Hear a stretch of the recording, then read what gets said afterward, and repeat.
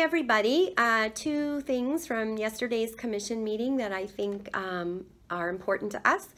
Uh, the first is the commission has taken the first step um, to fix a problem in a very old um, ordinance um, for some of our airport workers. Uh, we um, essentially are almost being forced by that 1975 rule to um, let these people earn $5 an hour at the airport.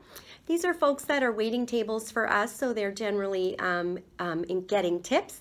So we're working to fix that so that tips will be included as part of their uh, wages. So we're not taking our hardworking residents um, and impoverishing them through their airport jobs, which they do a great job at. So um, they too will be making a living wage. We just have um, one more meeting to get that finalized for them. The other thing we did is uh, we showed unanimous support for our mayor's um, idea on a transportation authority uh, to replace um, MDX. And the idea behind it is really to, um, it's pretty innovative. It's going to save all of our residents a lot of toll money and um, be able to be more efficient.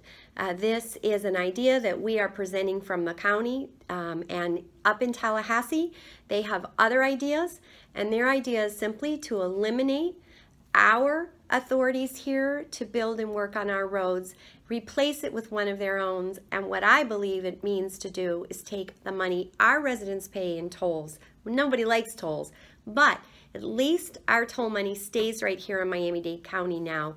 It's not simply transferred to the coffers of Tallahassee. So we stand united with the mayor in um, making sure that the money that we generate through tolls in Miami-Dade stays here and that we implement his transportation authority because we do have a plan that will significantly reduce tolls for everybody.